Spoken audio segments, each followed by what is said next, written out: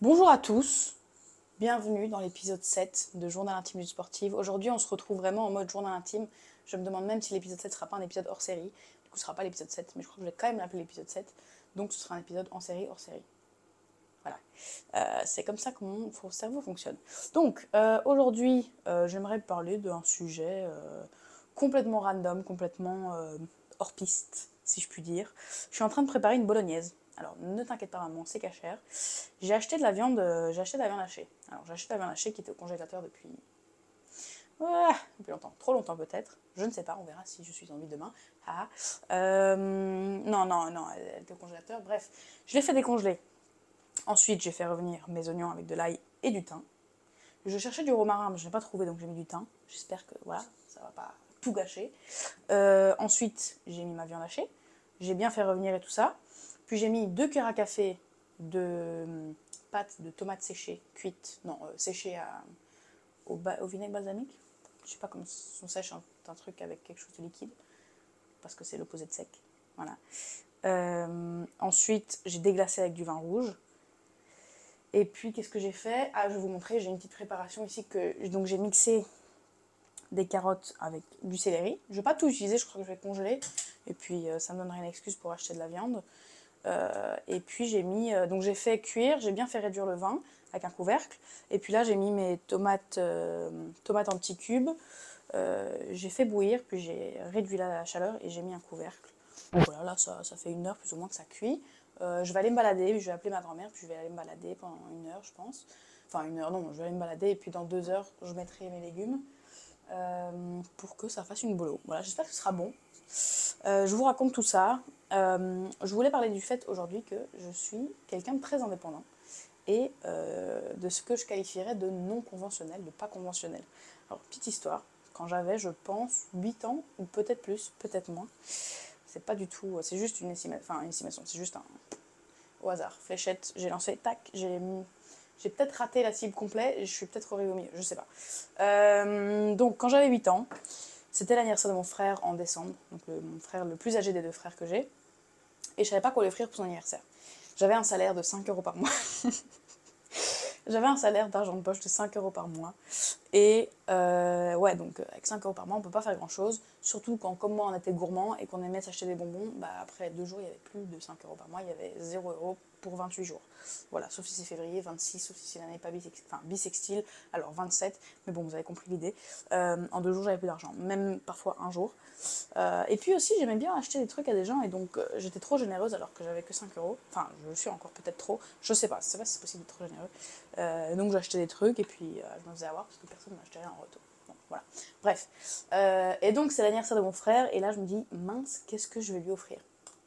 Donc là, je regarde un peu dans ma chambre pas grand chose à offrir. J'avais beaucoup de peluches dans ma chambre. J'avais euh, un bureau, des bics, tout ça, mais bon, ça, il avait aussi. Donc là, idée de génie, je me dis, qu'est-ce qui ferait plaisir à mon frère? Un truc techniquement est déjà à lui. Logique, enfin, si quelqu'un a quelque chose, c'est que ça, à la base, ça lui a fait plaisir à un moment donné. Donc, euh, ce que je me suis dit, c'est que j'allais aller faire un petit tour dans sa chambre et, et chercher quelque chose que je pourrais éventuellement lui offrir. Et là, il y avait une petite jarbuka. Une jarbuka, c'est un, un petit tam-tam comme ça, je sais pas très bien euh, de quelle origine. Mais il était dans sa chambre, donc ce que j'ai fait, c'est que je l'ai pris, je l'ai emballé, et je lui ai offert pour son anniversaire. Voilà. Et euh, il a trouvé ça, je sais plus s'il a trouvé ça drôle ou plutôt genre bizarre. Euh, Boris, tu me diras hein, ce que tu as trouvé, si tu t'en rappelles.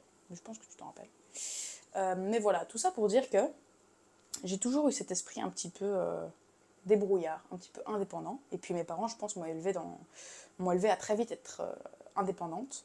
Euh, ce qui, je pense, m'a beaucoup, beaucoup, beaucoup bénéficié dans mon sport de niveau, dans le sens où j'ai très tôt pris responsabilité de ma préparation physique, j'ai très tôt pris responsabilité de mes objectifs euh, rugbystiques, parce que j'ai toujours été très rugby au début. et la prépa physique, c'est pas que j'aimais pas ça, mais je, pour moi, ça faisait juste partie du truc sans forcément. Je comprenais pas forcément le lien entre les deux. Euh, vous allez me dire c'est logique, hein, mais euh, c'est pas forcément évident pour tout le monde. Voilà, il y en a qui ont deux neurones, c'est pas facile tous les jours, d'accord euh, Voilà, j'étais à Paris pour rendre visite à mon frère ce week-end. Et j'étais au Panam Comedy Club. Et je me suis dit que peut-être je me lancerais dans le. dans le stand-up. C'est ça que ça s'appelle, ça s'appelle du stand-up. Mais en même temps, je me dis, ça peut très vite être nul, quoi. Euh, surtout que moi, en général, je, euh, fais pas des très bonnes blagues. Enfin, je fais des bonnes blagues. Pour moi, elles sont très drôles, mais je me fais rire moi-même. Mais le problème, c'est que si je me fais rire moi-même, c'est qu'il y a un problème. Quand je suis la seule personne qui rigole, c'est qu'il y a un problème. Bon, euh, donc tout ça pour dire que j'étais, euh, ouais, j'étais voir mon frère. Non, c'est pas ça que je voulais dire. Ah ouais, et donc très indépendante, mais j'ai l'esprit qui divague dans tous les sens tout le temps. j'ai toujours plein d'idées, parfois pas brillantes.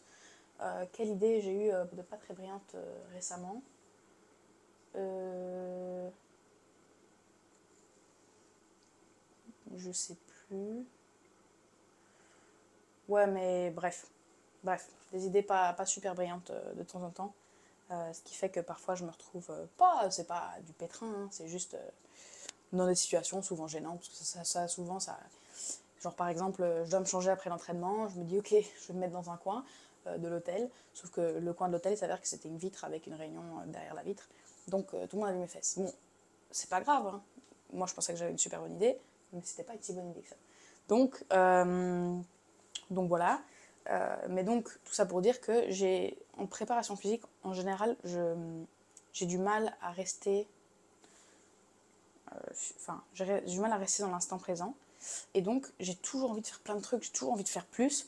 Et comme j'avais dit dans un de mes épisodes, au début de la semaine, quand je suis un peu plus fraîche, j'ai du mal à ne pas plus faire, de pas faire d'extra, de pas aller courir un, top-up par-ci, un truc par-là, euh, parce que j'ai envie de faire plus et je sens que j'ai envie, toujours envie, toujours envie, et que je pense que c'est hyper important de pas de savoir faire confiance parce que j'ai 100% confiance en mes préparateurs physiques, mais c'est plus euh, savoir lâcher prise.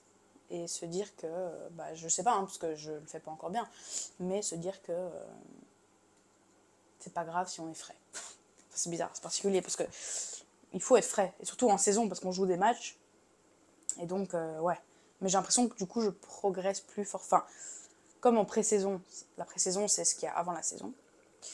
Smart brain. Euh, c'est ce qu'il y a avant la saison. Mais donc, on travaille dur en pré-saison. Et donc, quand on arrive en saison, et que le but, évidemment, en saison, c'est de performer. Le but, c'est de performer en match. donc, ça veut dire que le but, c'est d'être frais aussi. Et donc, c'est de savoir travailler sans se fatiguer. Enfin, pas sans se fatiguer, mais en tout cas sans créer de fatigue euh, générale dans le corps qui va être euh, un facteur de contre-performance. Mais ça, euh, et c'est encore quelque chose avec lequel j'ai du mal, euh, bah, ça va être ma cinquième saison en pro. Non, c'est ma cinquième saison en pro. mais c'est encore quelque chose avec lequel j'ai du mal.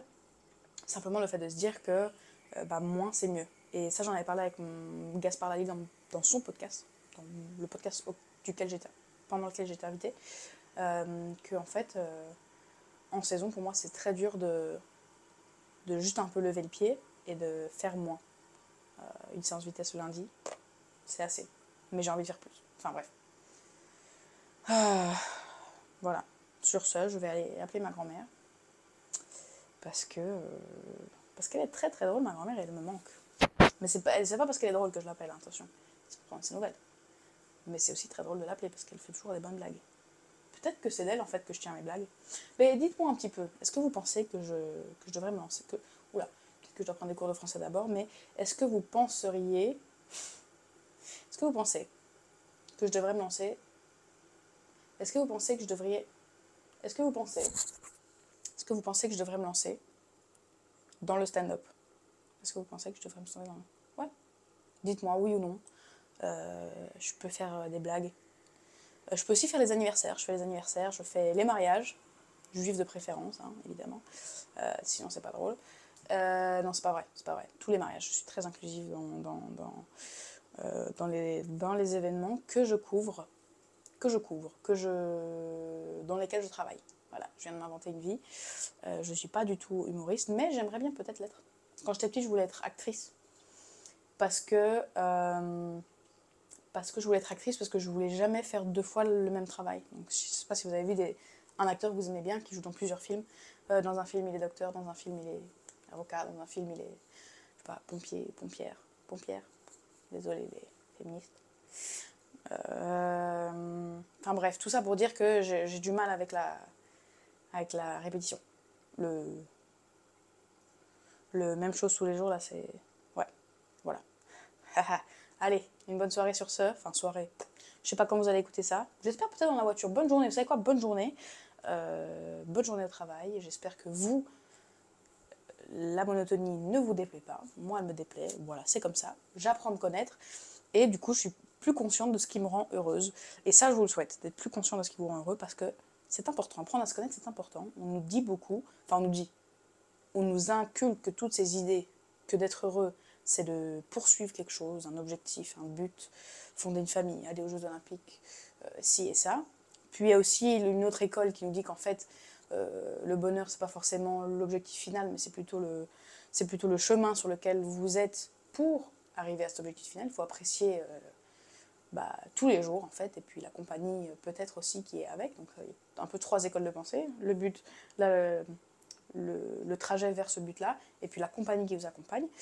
mais moi, je pense qu'apprendre à se connaître, en fait, c'est le, le palier qui fonde tout ça peu importe l'école de pensée que vous avez, enfin que vous êtes, que vous, euh, partagez, euh, c'est important d'apprendre à se connaître parce que du coup, vous allez passer le plus de temps avec vous-même. Vous êtes la personne euh, qui va vous accompagner.